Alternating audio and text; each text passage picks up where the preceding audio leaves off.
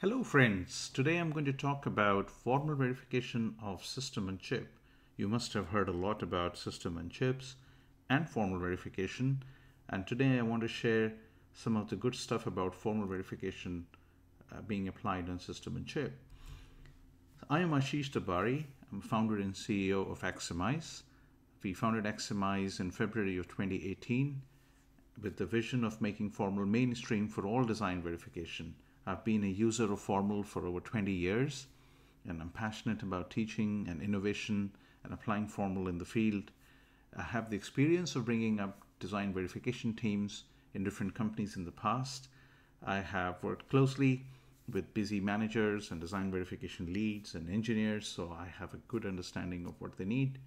And I have trained and enabled uh, nearly 100 engineers uh, check out uh, our website www.axiomise.com slash testimonial to read about uh, some, what some of the people say about the training that I've done.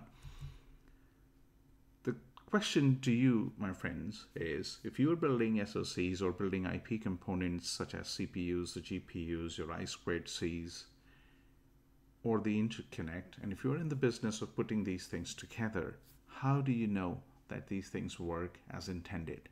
How do you carry out your verification? How do you know that all masters in your fabric get access to the shared memory infinitely often? How do you know that multi-master systems do not modify shared memory illegally ever? How do you make those guarantees? All Snoop requests that are sent to memory always remain in order. How do we make sure that this is always the case?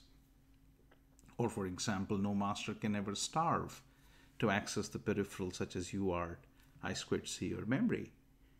How do we know that caches remain coherent with main memory at all times, that all instructions in your processors always produce the correct outcome?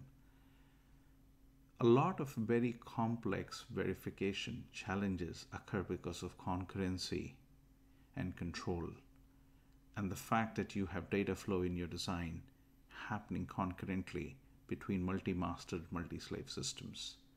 To try and get a confidence in the quality of verification, you need to think beyond your simulation cycles.